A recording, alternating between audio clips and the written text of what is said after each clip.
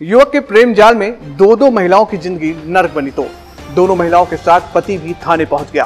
पहली पत्नी ने पति पर दूसरी पत्नी रखने का आरोप लगाया। वहीं दूसरी महिला ने युवक की पत्नी होने का दावा खारिज करते हुए पहली युवक की पत्नी पर धमकी देने का आरोप लगा दिया। घंटों चले पति पत्नी की जुबानी जंग में पुलिस ने आरोपी पति को पत्नी की तहरीर पर गिरफ़्तार कर लिया। वहीं दूसरी औरत भी अपने बेटे को लेकर दिल्ली लौट गई। ऊंचाहार थाना क्षेत्र के सवैया हसन निवासी मिथिलेश शुक्ला ने अपनी बेटी अंजलि की शादी वर्ष 2017 में दुबान निवासी कुलदीप के साथ की थी। इस बीच युवक की एक बेटी भी हुई। वही युवक दिल्ली कमाने चला गया। पत्नी अंजलि के मुताबिक सुनीता नामक एक महिला के साथ उसके पति के अवैध संबंध हो गए। कई बार फ़ोन करने पर पति की जगह महिला फ़ोन उठाती रही। विगत दिनों कुलदीप के यहाँ किसी की परीक्षा कार्यक्रम था। इधर कुलदीप के बाद सुनीता नामक महिला भी दिल्ली से बस द्वारा कार्यक्रम में पहुँच गई। जबकि युवक ने अपने ससुराल से पत्नी को लाना मुंसिब नहीं समझा। इधर महिला को भनक लगी तो वो अपने ससुराल दुबहान पहुँच गई, जिसके बाद दोनों महिलाओं में जमकर कहासुनी हो गई। रविवार को पति पत्नी के साथ तीसरी महिला भी थाने पहुँच गई। महिला का आरोप है कि उसने कुलदीप की पत्नी से जान से मारने की धमकी दी है। कुलदीप से उसका कोई लेना देना नहीं है। उधर ना ही किसी प्रकार का उससे संबंध भी है।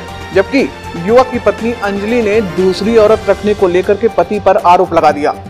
कोतवाली इंचार्ज पंकज सोरकर ने बताया कि महिला अंजलि ने अपने ही पति के विरुद्ध प्रताड़ित करने और दूसरी औरत रखने का आरोप लगाकर तहरीर दी है। आरोपी युवक को फ़िलहाल गिरफ़्तार कर लिया गया है जबकि दोनों महिलाओं को उनके घर भेज दिया गया है। एस सेवन की डेस्क रिपोर्ट। क्या नाम है? अंजलि शुक्ला। कहाँ की रहने वाली हैं? दुबहान। आज थाने क्या करने आई हैं? फैसला करने। किस बात का? कि उनसे कोई दूसरे लड़की से चक्कर था। हम्म। तो मुझे मार रहे थे मुझे बर्बादी में कर रहे थे। हम्म। लड़की भी आई हुई लड़की भी आई क्या मामला है पूरा बताइए। सर घर वाले।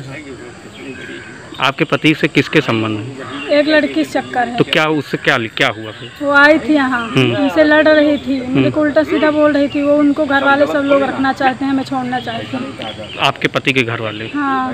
तो आपने आज क्या फैसला किया थाने में? हमने किया कि हम इनके साथ नहीं रहेंगे। आपकी बच्चे भी हैं? हाँ एक बच्चे हैं। कितना बेटी एक बेटा है? बिटिया है। तो क्या फैसला हुआ आपके दोनों के बीच में? फैसला हुआ था। बेटी यही रहेगी सर। बिटिया यहीं रही।